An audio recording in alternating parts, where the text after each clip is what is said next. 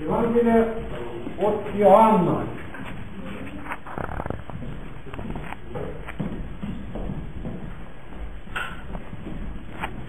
Пятнадцатая глава, 13 стих. Нет больше той любви, как если кто положит душу свою за друзей своих. Удивительные слова. И кто думал, что их сумеет извратить и сделать убийственными, ни на один стих столько не приходится крови, как на этот. Все захватнические войны православные, все будет под этим стихом, за друзей своих. Сегодня отпевают те, которые в Афганистане погибли, за друзей своих. Кто думал в первом веке, такие как Антимий Комедийский, что этот стих так можно повернуть? Для нас образец Христос, взявший оружие, оружие погибнет, ведущий в плен сам пойдет в плен. Христос умер, но умер-то за кого? Стояли люди вокруг. А это надо смотреть в проекте на будущее. Пролита кровь его для спасения людей. Антим за кого умер? Он за себя. Его ходили за то, что он епископ. Здесь написано за друзей своих. За друзей, значит, он положил душу за них. Когда учил, ему предлагали, предлагали отречься не один раз. Другого толкования никакого нет. И когда вы слышите, что отпевают и говорят за други своя положили души в Чечне, это совершенно не по Евангелию. Это евангельскими словами прикрывает убийство.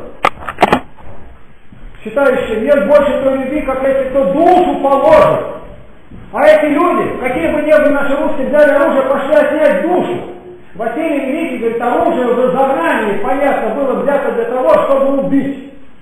И если ты пришел не убил, то это просто милость Божья. Ты стрелял для того, чтобы убить. Положит душу.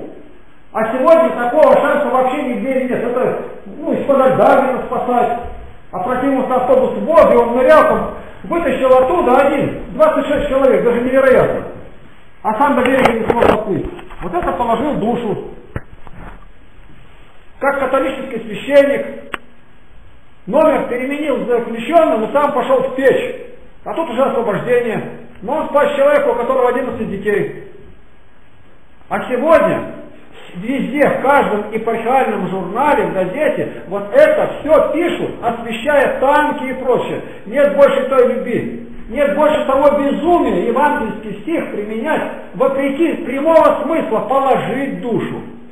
Не отнять. 1 Иоанна 4, 7, 11. Возлюбленные, будем любить друг друга, потому что любовь от Бога. И всякий любящий рожден от Бога и знает Бога. Кто не любит, тот не познал Бога. Потому что Бог есть любовь. Любовь Божия к нам открылась в том, что Бог послал в мир единородного Сына Своего, чтобы мы получили жизнь через Него. Он никого не убивал, Христос. И далее. В том любовь, что не мы возлюбили Бога, но Он возлюбил нас и послал Сына Своего в милостивление за грехи наши. Возлюбленные, если так возлюбил нас Бог, то и мы должны любить друг друга так. Прямое слово стоит. Никакого другого значения в этот стих Христа нельзя подставить. И память святых отмечаем, когда нигде нет, чтобы эти святые с оружием что-то обороняли и говорили, они положили за душу свою, э, душу свою за друзей. Этого нигде нет. Когда ты свидетельствуешь другим, когда несешь весть о Христе, спасаешь его, родственники отступили, и ты идешь с угрозой для жизни своей, вот ты положил душу за него. Когда ты работаешь среди запрещенных, заразных, чтобы донести свет Евангелия, это душу положить.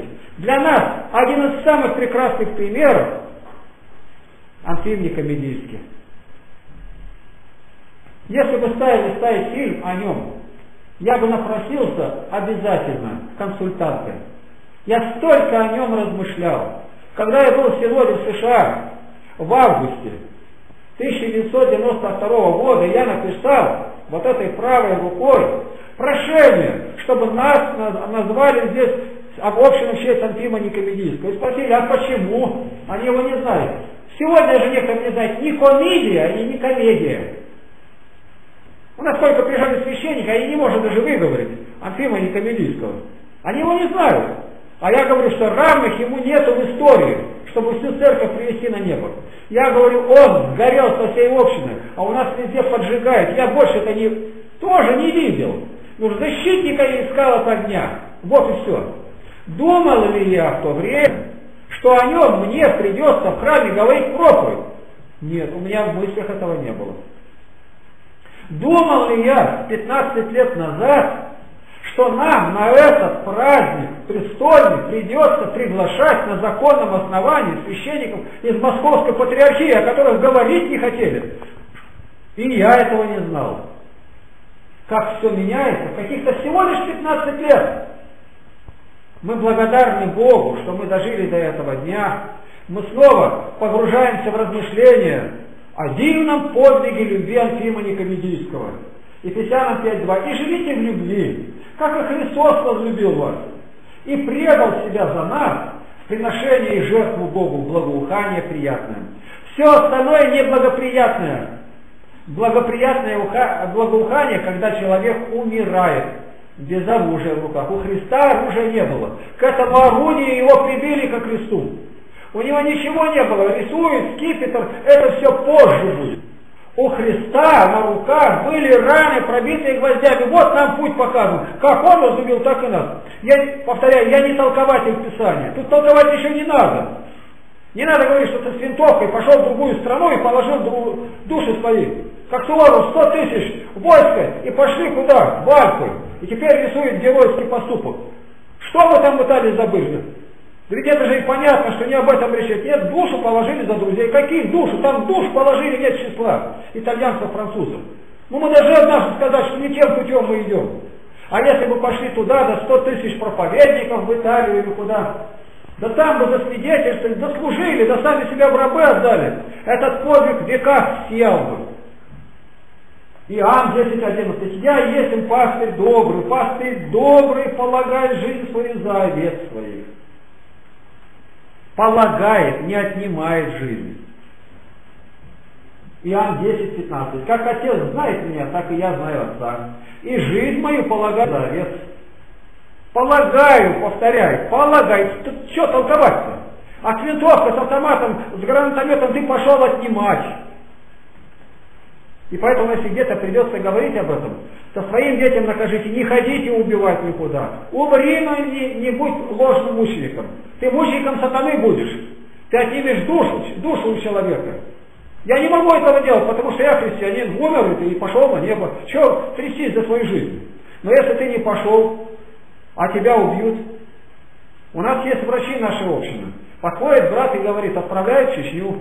А кем? Врачом. Мне звание майора дали. Иди, брат, иди. А посылает на минные поля, иди, брат. Вытащи раненого, умри за Христа. Ты за Христа пошел. И им, раненым, скажи о Христе, скажи, Господь ждет тебя, покайся. Не отойди из этой жизни без покаяния. Ты врач, и ты в плен попадешь, тебе другое будет отношение. Да ты не наемник. Вот которые сегодня контрактники, их в плену не держат, их сразу расстреливают. А, он, а о нем теперь отпевает, он положил душу свою за други своя.